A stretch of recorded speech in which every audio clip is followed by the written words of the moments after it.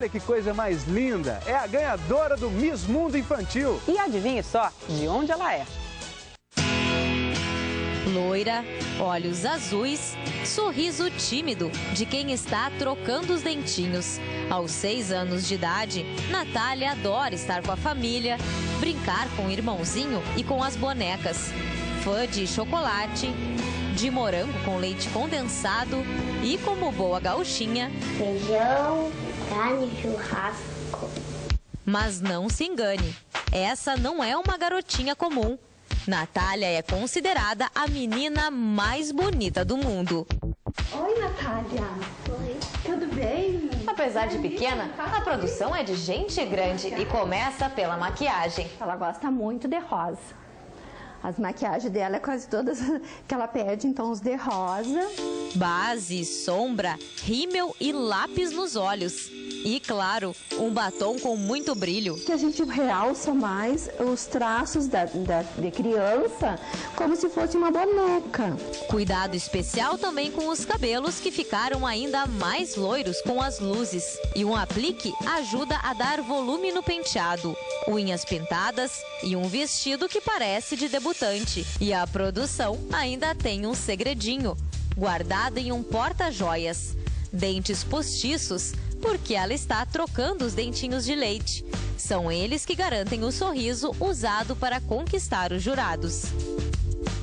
O pessoal critica bastante, mas eu costumo dizer assim, criticam aqueles que não conhecem a Natália como criança, não me conhecem como mãe, né, e não conhecem o nosso dia a dia. Se fosse uma coisa tão ruim, eu não teria posto a Natália, né? Às vezes, é, por mais cuidadosa que a mãe seja, ela de uma certa maneira está uh, oferecendo a essa filha a experiência, né?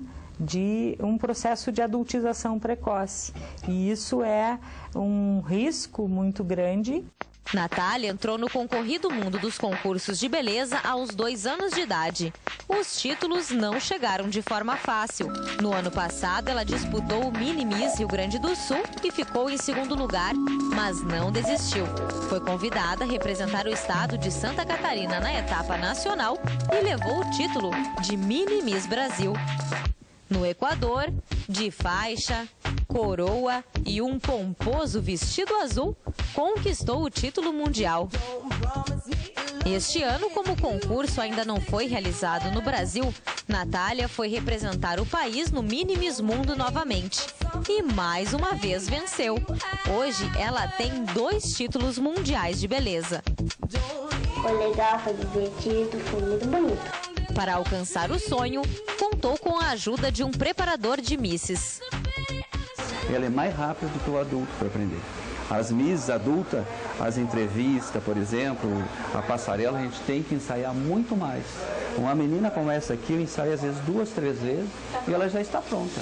Mas nem o gosto pelas passarelas, pelo glamour, evita o cansaço. Produções, entrevistas, assédio nas ruas com distribuição de autógrafos. Situações que às vezes escondem o sorriso da pequena Miss Natália. O rostinho se ilumina mesmo quando ela está curtindo a família, os brinquedos e as aulas de balé.